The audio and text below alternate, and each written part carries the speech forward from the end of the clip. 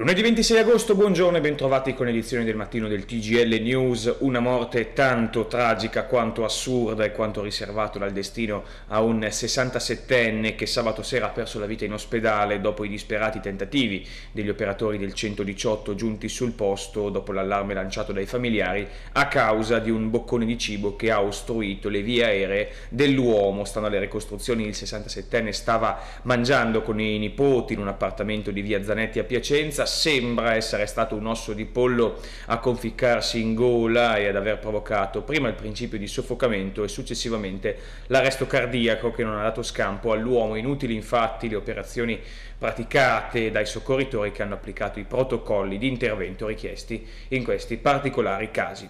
Una sbornia pesantissima che è costata un grave malore e la successiva perdita di conoscenza all'interno del parco giochi di Borgonovo. Protagonista della vicenda non è un adulto con problemi di alcol, bensì un quattordicenne che in pieno giorno è letteralmente collassato a causa proprio della grande quantità di alcolici ingerita. È accaduto nel pomeriggio di ieri quando a causa delle condizioni preoccupanti del giovane dalla centrale operativa del 118 è stato disposto l'invio del servizio di elisoccorso soccorso. Fortunatamente il 14enne con il trascorrere dei minuti e grazie all'intervento di medici e infermieri è migliorato ed è stato condotto all'ospedale di Piacenza in ambulanza.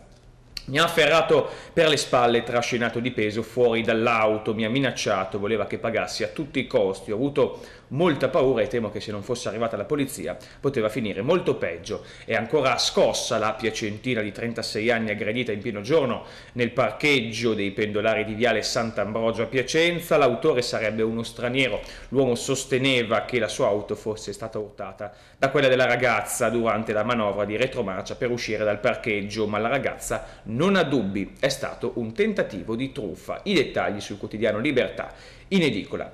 Chiudiamo con lo sport, ieri si è aperto il campionato di Serie C che ha visto in campo anche il Piacenza Calcio, questa sera alle 20.15 rigorosamente in diretta sarà anche tempo della prima puntata di Zona Calcio, anzi Zona Piacenza, visto che sarà incentrata in attesa del calcio dilettanti proprio sul Piacenza, Corrado Tedeschi e Laura Fregoni guideranno una serata incentrata appunto sull'esordio in campionato dei biancorossi a Vicenza contro l'Arzignano, sfida finita 0-0 per la puntata inaugurale inaugurale della trasmissione saranno mister Arnaldo Franzini e il direttore sportivo Luca Matteassi a rappresentare la società dei fratelli Gatti allo spazio rotativo. Non perdetevi il primo appuntamento stagionale con Zona Piacenza, ovviamente su Tele Libertà.